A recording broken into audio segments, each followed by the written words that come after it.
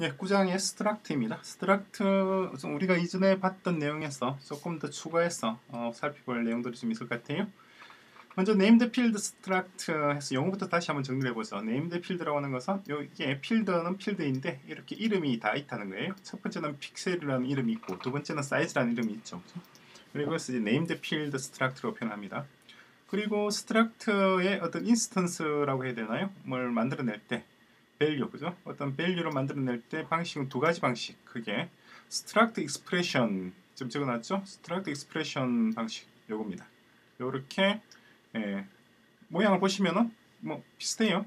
그리고 declaration 부분에서 declaration 부분하고 실제 어, expression 부분하고 서로 비교를 해보시면 뭐가 같고 뭐가 다른지 바로 보이실 겁니다. 그걸 이렇게 construct 방식으로도 만들 수가 있어요. 그죠? construct 방식인데 주의해야 될 점은 이 부분이죠. 요 그냥 그대로 간단하게 간단하게 pixels, size, size 이렇게만 return하더라도 어, 똑같습니다. 하더라도 이전에 봤던 요것과 똑같은 형식의 예, value가 만들어져요. 자, 그 내용이고 그리고 예, pub public이죠. public도 요, 이, 이, 경우 지금 struct 자체도 public이고 필드도 public이에요. 얘는 struct는 public인데 필드는 private이에요.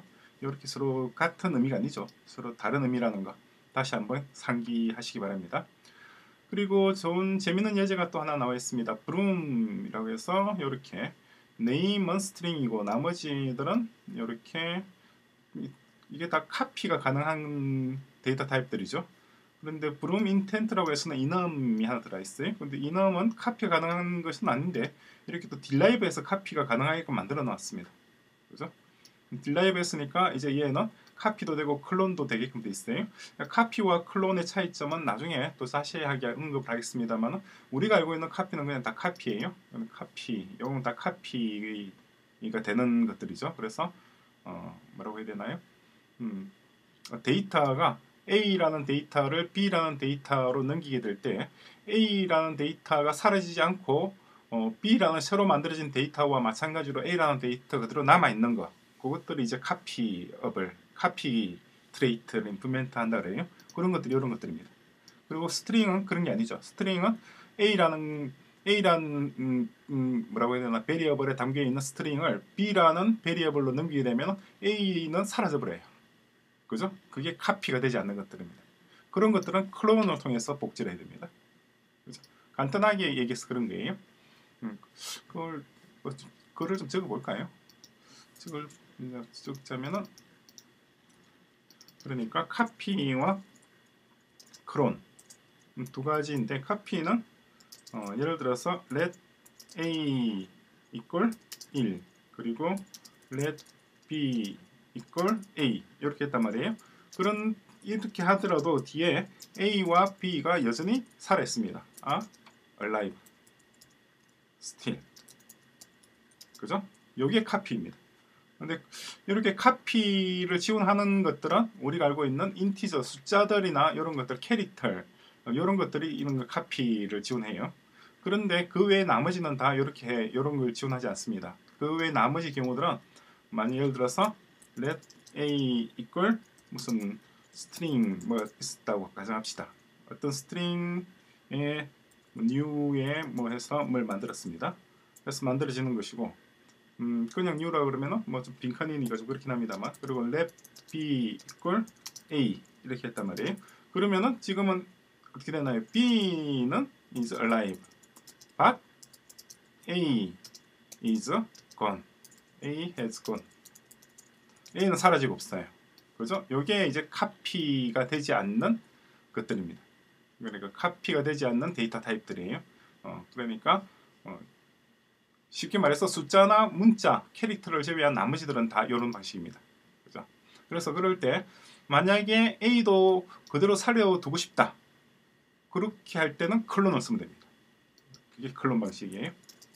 클론 방식을 쓰게 되면 이럴 때는 카피가 되지 않는 그런 데이터 타입들도 A와 B 둘 다 살려놓을 수가 있어요. 그 예제를 좀 이따 바로 넣으니까 같이 보도록 하겠습니다. 그게 카피와 클론의 기본적인 차이점인데 나중에 자세 예제들을 계속 보다 보면 그 차이점을 정확히 이해를 하시게 될 거예요.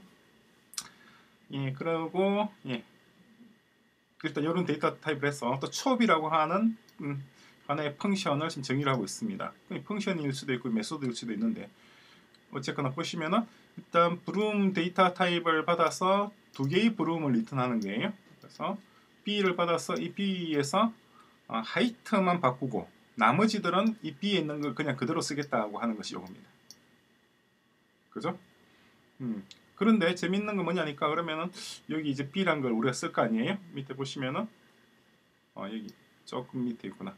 어, 하키라고 하는 것을 하나 만들었습니다. 여기다가 이제 첩해서 하키를 넣었어요. 그러면은 이 첩이라고 하는 좀 전에 봤던 그 펑션에 어, 여기에 전달되는 거죠. 하키가 전달되는 거죠. 그죠? 하키가 전달되면 그 중에서 하이트만 빼고 나머지들은 다 그대로 어, 복사해서 새로이 만들어지는 뭔가 하키원 그죠? 를 만들어내는 거예요. 그런데 재밌는 게 뭐냐니까 첫 번째 얘는 name 얘는 String이에요. 그리고 나머지들은 height이고 또 intent는 이거 enum이잖아요.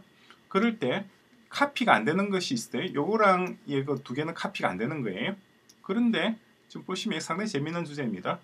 어, 보시면은 얘는 카피가 지원한다고 이렇게 derive를 선언을 했어요. 따라서 얘는 이제 카피가 되는 겁니다.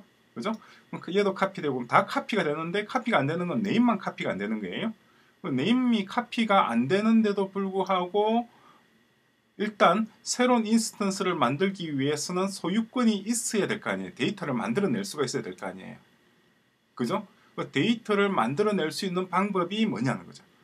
데이터를 만들어낼 수 있는 방법이 어, 소유권을 가져와 버리는 거죠. 그 소유권을 가져오게 되면 어떻게 되나요? 그러면은 B는 사라지고 없어지게 되는 거죠. 그죠? B가 사라지고 없어져야지 이 새로운 broom1이 만들어질 수가 있어요. 그죠?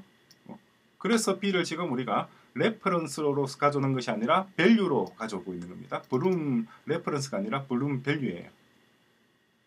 이해되시죠? 그죠? 그러니까 상당히 재미있게 일부러 잘 만들어 놓은 거예요. 예제가 지금. 어, 예제가 지금 height나 health나 포지션은 이 tuple 이런 것들은 다 카피가 되는 것들입니다. 그래서 카피가 되는 것이기 때문에 음, 실제 이 Broom을 우리가 지금 value로 가져오는 것이 아니라 reference로 가져온다 하더라도 값을 만들어낼 수가 있어요. 그죠? 이전에 있던 것들 B를 살려놓고도 새로운 broom1이 만들어진단 말이에요. 그런데 이 String을 가져올 수 있는 방법은 이전에 있는 B가 사라지는 수밖에 없어요. 사라져야지 이전에 있던 이 String 그러니까 우리가 argument로 전달받게 되는 chop의 argument로 전달받게 되는 이 Broom 음, value로 해야 되나요? value를 살려놓고는 새로운 broom1을 만들 방법이 없단 말이에요. 그것 이것 때문에 그래요. name String 때문에. 그죠? 만약 name String 이게 어, 방금 말씀드린 것처럼 그 카피 trait를 지원한다 그러면은 그러면은 굳이 요걸 우리가 값으로 가져올 필요 없이 reference reference로 가져오더라도 broom1도 만들어지고 이전에 있던 B도 그냥 그대로 살아 있고 둘 다 가능해요. 그죠? 그런데 그럴 수가 없는 이유가 바로 요 String 때문이라는 거. 그리고 지금 얘는 일부러 이렇게 카피와 클론을 derive를 심시켜 놓은 거예요. 그래서 얘는 그럼 카피와 어, 카피가 되도록 만들어 놓은 거죠. 그죠? 상당히 재밌죠. 굉장히 이게 생각해 볼 생각할 부분이 많아요. 천천히 한번 곰곰이 생각해 보십시오. 왜 이렇게 만들었는지 그냥 대충 넘어가는 것이 아니라 그리고 브룸2를 보시면은 브룸2는 또 브룸1을 가지고 만듭니다. 브룸1을 가지고 만드니까 마찬가지 브룸2가 새로 만들어지기 위해서는 브룸1이 사라져 버려야겠죠. 그죠? 사라지지 않고서는 어, 새로운 데이터 새로운 데이터 이 name에 해당되는 여기에 되어 있는 데이터를 새로 만들 수가 없잖아요. 이전에 있는 것을 살려놓고 이걸 가져올 방법이 없죠. 그런데 이전에 있는 걸 살려놓고 가져올 수 있는 방법 그러니까 카피 지금 이 카피들 있잖아요. 이 카피를 지원하는 데이터 타입처럼 음, 만들어주는 것. 그게 바로 클론입니다. 그래서 클론 해두고 있죠. 그죠? 그러니까 어, 복사를 해가지고 오는 거예요. broom1의 name에 카피를 어르지 않고 그냥 클론이라고 해놓으시죠. 그러니까 이전에 있는 broom1에 있는 name은 살려놓고 새로 이 broom2를 위한 name을 만드는 겁니다.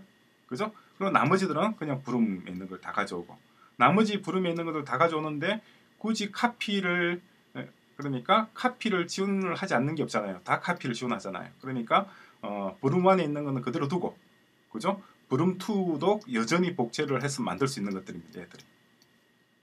이해되시나요?